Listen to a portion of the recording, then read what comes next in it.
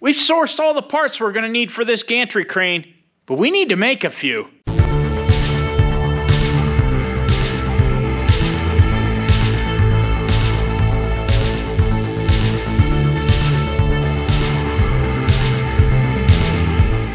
What do we What do we need to do first? You think? Well, I, I think you always start with the foundation, which is the, the base, the late that the casters will be on, yep. and build up from there. And we're going to use this. What is this? Four x six box steel. Yeah. It's actually a toolbar for a sprayer for ripper shanks, so that should be heavy enough. We're going to cut it in half and cut these ends off of it, and then make our A-frame up from there.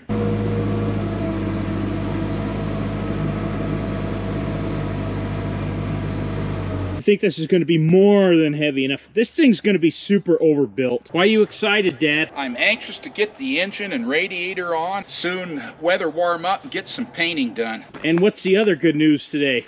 Good news is torch time. Yeah, you love your torch. Yeah, I like torching. We got a lot of torching to do because we got to cut these ends off of here on both sides so that we can have a good straight cut. Don't have to go through this thick part. Get we rid of the weld. Might lose a little bit. Yeah. Here I'll try to cut as close as I can. Trim it. Because we'll have Uh. to weld on that and grind it anyway because our leg's going to attach out here. Right. And then once you get these cut off, we'll find our center and cut it in half. I'll get a wrench over here and just take this thing off. Just cut it off. Don't waste your time. Dad doesn't miss an opportunity to use the torch.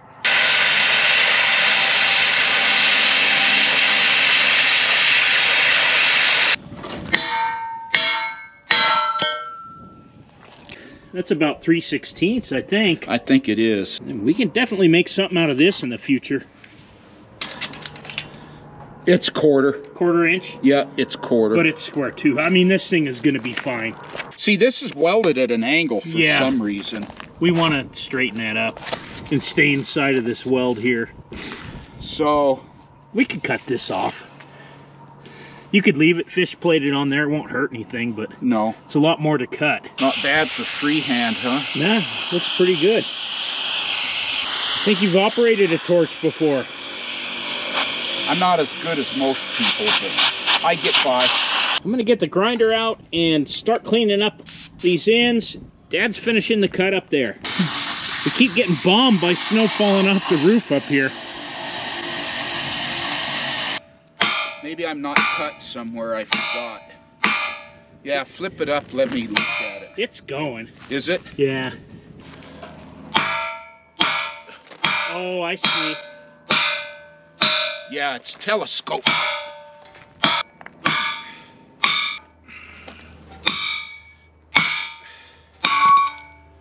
We gonna leave these ears, or you want me to? I'll cut cut them them off. off. We don't want those in the way. After cutting those ends off, we've ended up with about 10 foot 10. So each leg's gonna end up right around five foot five. Now I see why they call it the daily grind. We got a lot of grinding to do. Find our center. I guess go on the long part or the short part. Uh, it doesn't matter. Just find our center. This side's pretty square, except we are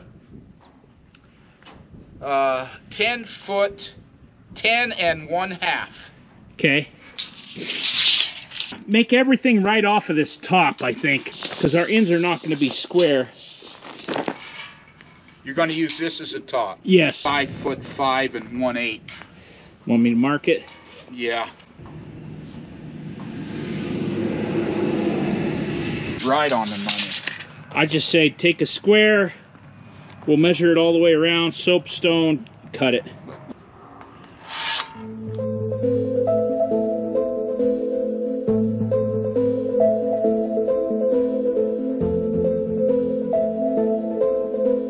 Now I'll clean up these ends with a grinder. From the trolley wheel where I'll run on the beam, you'll never, probably the hook will be more like right there. Yeah. That's, call it 27, 20, let's call it 28 inches. We're trying to figure our working height of this hoist to determine exactly how tall we want to make it. And the limiting factor here is we want to make sure that we can clear that door. we just double checked our math and we figured our working height and the exact height that we want to have this with the hoist and the trolley and everything we have.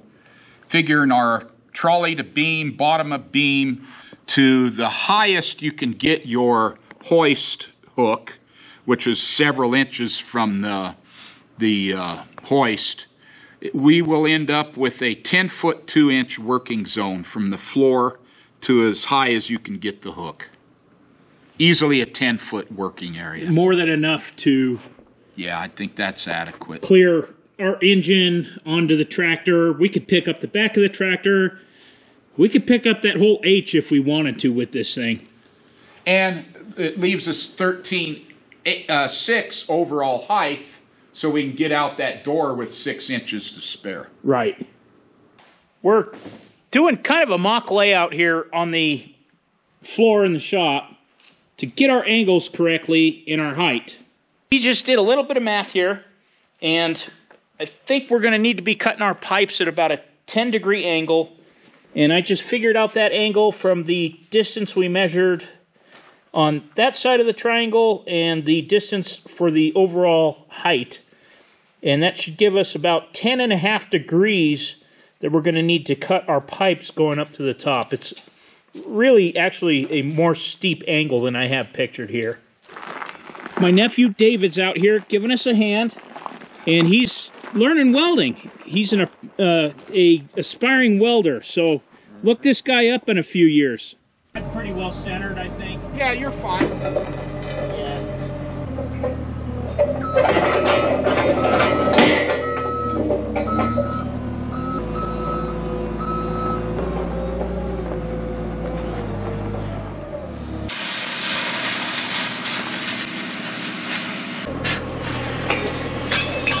You want it? There? Yeah, right, there.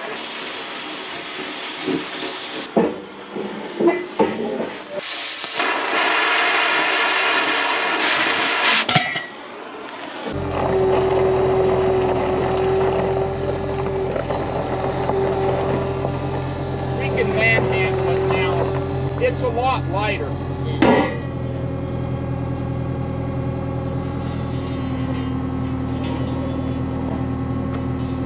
You know, that's pretty good, Yeah, actually.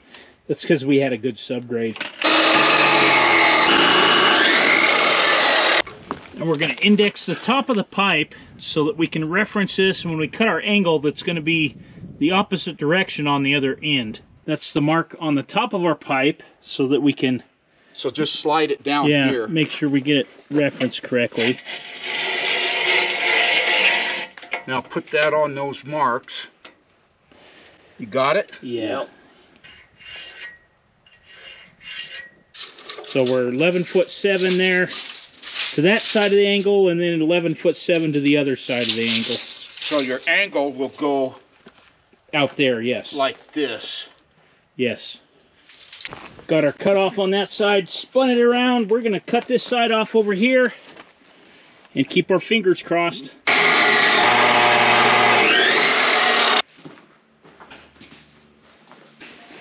Looking at the angle, it looks good, don't it? Yeah, does look oh. I moved my thing, but yeah, we're It looks pretty good. yeah, I think so. Okay, I think we just need to do this what three more times. Three More times, yeah. And we got this. So you and David just checked this, and what are we? We're right on our uh, 11 foot 7. Right on the and money. our angles look beautiful. See, who did the math on this angle? Yes, I'll give you that. You did good math. 12 foot 6. Right on the money. So the top of the beam will be 13 6. Yeah. That arm's cut. We're going to do the rest of these off camera. There's our second one that's cut. Our angles are working out perfect. We're going to cut the other two and get that laid out and ready. Finally landed on four foot six for our gusset that's going to go across here. Got one right here. We just need to make up just a little bit to get the length we need. And I'm not worried about it because some of these have already been welded like that before. And these were used to hold up a giant concrete foundation wall that we backfilled, so they're gonna hold. Got that tacked. I'm gonna burn it in more when we get the buzz box out and assemble everything. When we weld this together, we're gonna need a plate for these pipes to butt into right underneath the beam.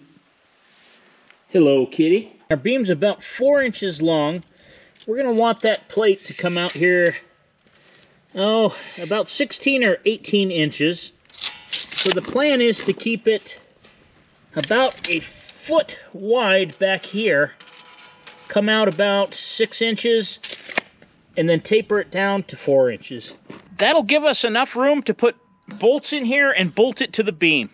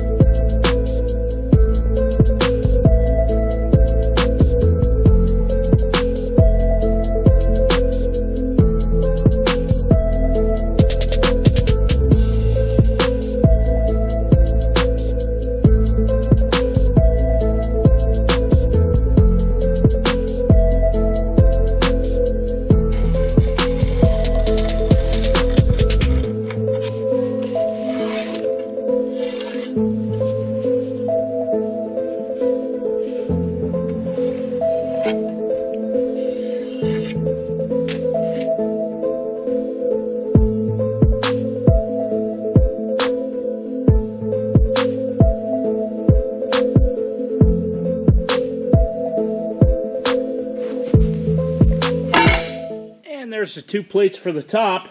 Don't want to move our mock-up yet because I'm still measuring a few things here. I'm going to cut a gusset here. It's going to come down about 8 inches, come across. It'll be that half-inch plate like we're going to use on the top to go under the beam. I'm going to cut this right here, and we'll cut this in half, and that'll be our gusset for the top. And this width is going to give us plenty. We're at 13 inches. But we're going to have to trim these angles off here. We're going to cut something a little like this.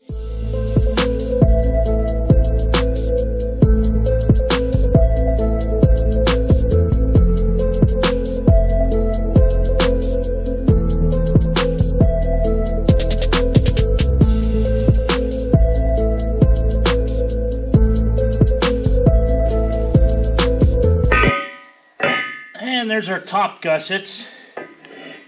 Gonna be about like that. Those are done. All right. It'll overlap this top place here by half an inch so we can weld this seam. This thing's gonna be super strong. We want a gusset that'll come out of here and out into under the beam. So they're gonna be just a triangle shape. Let me cut those. Let's make the top gusset 16 by 7.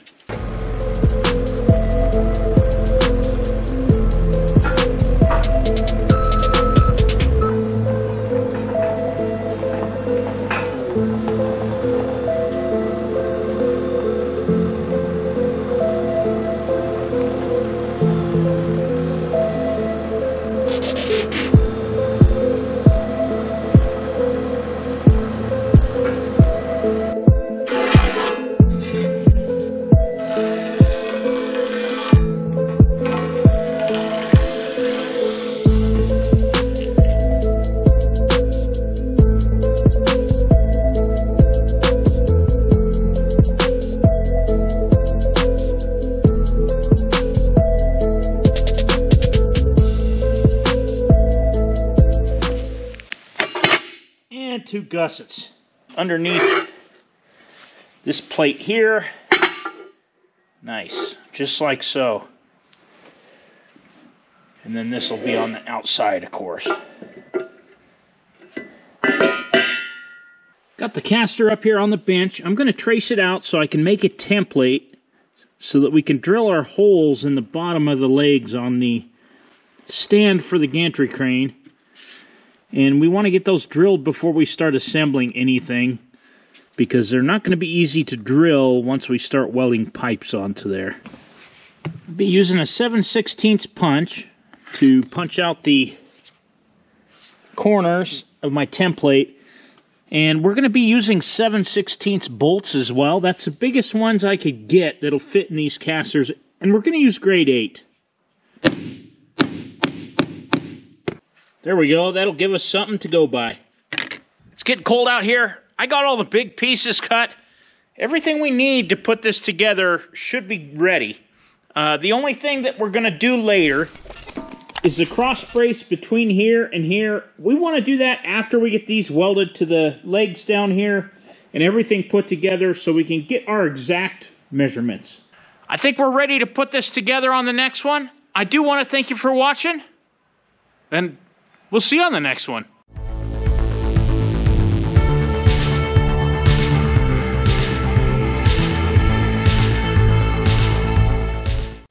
We've sourced the parts that we're going to need to get this gantry.